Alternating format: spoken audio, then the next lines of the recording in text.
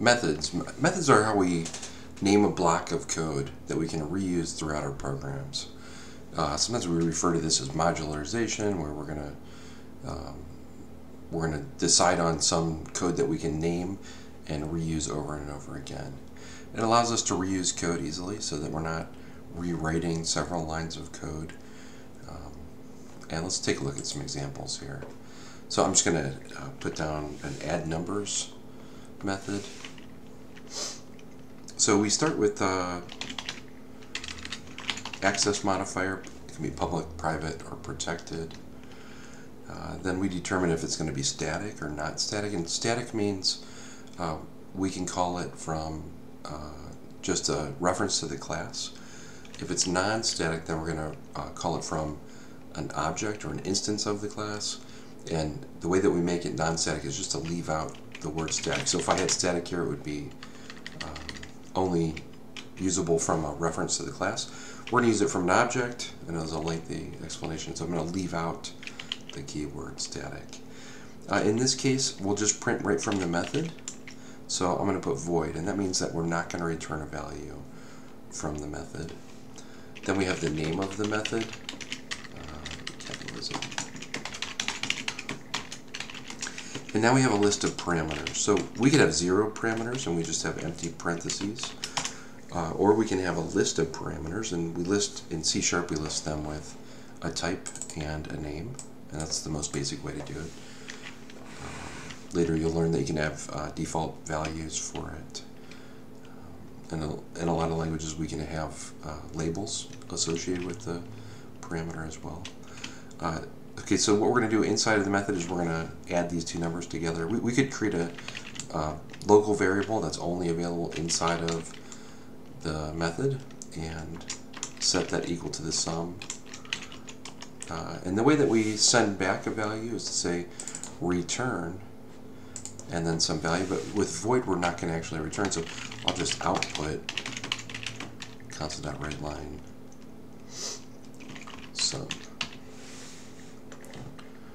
Okay, so how do we call the method? Well, because we made this a non-static method, we left out that keyword static, we need to actually create an instance of the example class. So what we're going to do is we're going to say example, just like we're defining a variable, example object, and this part should be familiar, right? This is the type, just like we say int and then some variable name. Uh, here we have the type, which is our class, making this an object, and then this is our identifier or our object name. And with an object, we need to instantiate it, so we'll say new example. Once we do that, we can use example object to access any public properties or methods that are exposed inside of the class. So here we would say add numbers.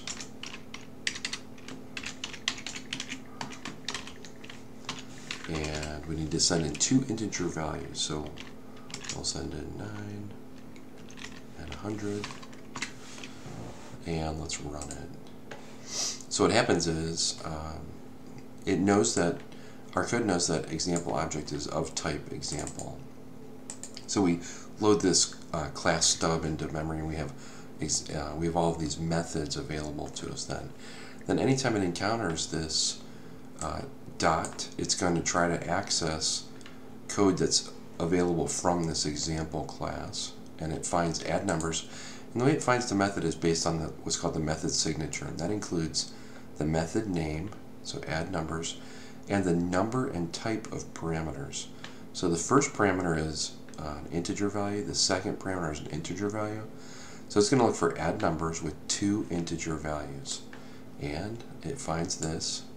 So it finds, uh, it has one integer value and a, and a second integer value. And so it calls this method, so it jumps to this point in code, to the starting point. It runs this code, and then it returns back to where we called the method from. We call that the calling point, and then it continues to run. So we're changing the uh, control sequence of our program, uh, but instead of like a loop where we're um, running the loop and then jumping back up to the top and running and jumping back to the top. We're going to actually jump to a completely different part of code, run the method, and then jump back to the calling point. Uh, let's let's have uh, let's do what's called method overloading. So we can take this method and we can create another example of it, but have this time three parameters. And when we're talking about the method implementation or, or the definition uh, in, the, in the header here, we're talking about uh, parameters. So this is like a local variable. It's called a parameter, but it's like a local variable that's only available while we're running inside of the method. As soon as we jump to add methods, A becomes available in memory, and it is assigned the value that we send as an argument. Okay, so uh, the parameter takes on the value that we send in as an argument. This is the argument list. And it's only available until we get to the end of the method. And then when we return back to the calling point, A, B, and C will go out of scope. It will no longer be available in memory. If you have Visual Studio installed, it's nice to run that and go to the debug menu and view the windows for locals and watch what happens in memory as we go through our program. Okay, so I'm going to run this. And you can see now that it jumps to this other method, this other add method, eh, I'm sorry, add numbers method, because it has uh, three integer variables defined. We can do the same with double. Uh, I'll take the first one. Uh, there's a way in C Sharp to define a a literal value as a double.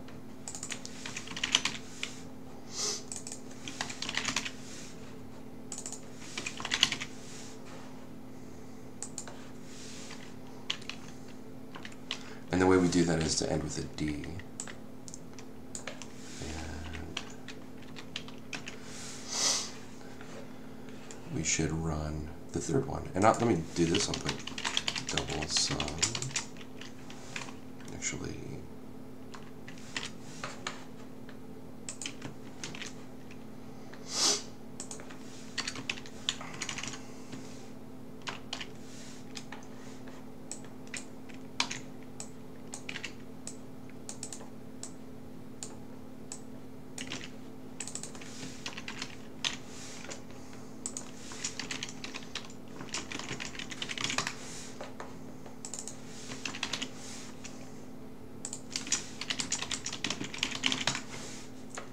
Okay, so the first one's going to say have two parameters, second one I three.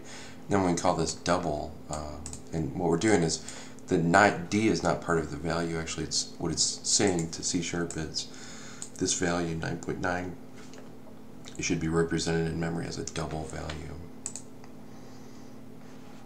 So there you have it, three methods. They belong to this class example. Notice that we end class main with a curly brace here. So this is the entire class main, main class, I'm sorry.